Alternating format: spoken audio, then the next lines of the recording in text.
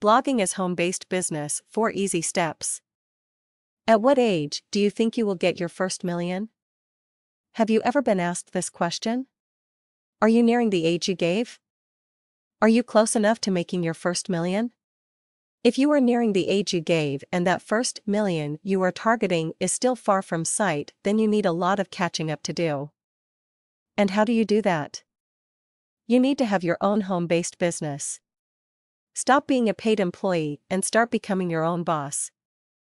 What home based business can you have? A good home based business you can start with is blogging. Writing blogs is very simple and easy to do.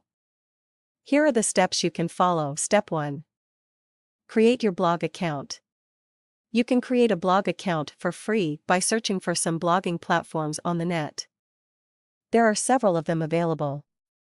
You can also create a more business-like blog account by buying your own domain. If you can find a blogging platform that will offer you a free account but with upgrade option later on, then get that. Step 2.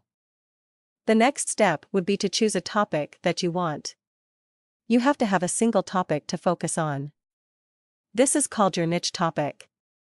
In selecting a topic, you must remember that you are expected to write good articles, so it has to be something you are very familiar with but it also has to be something that many people are interested in. It is pointless to write about a topic that nobody will read. Step 3. Once you have selected a topic, you are now ready to write your articles. Articles must be very informative because, in the first place, people search for them to learn valuable information. It also has to be catchy since you can expect to have lots of competition. Some articles are informative, but they tend to be boring.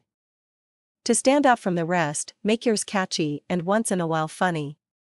Make your articles conversational so your readers will feel some connection to or with you. Also, make your articles concise. Many people do not have enough time to spend in front of the computer, so you are doing them a favor by making your posts concise.